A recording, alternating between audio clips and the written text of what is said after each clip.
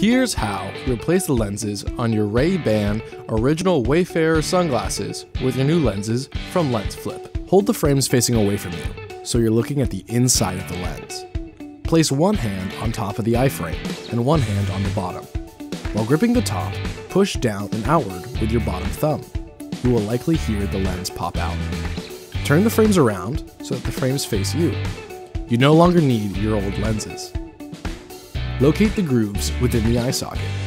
This is where your new lenses will sit. Guide the bottom edge of the lens into the groove, then push the upper corners into place. Don't worry about applying pressure. LenzFlip lenses are flexible and won't break. And that's it. That's how you replace the lenses on your full frame sunglasses with your new lenses from LenzFlip. Lens Flip. Flip the lens, keep the frame.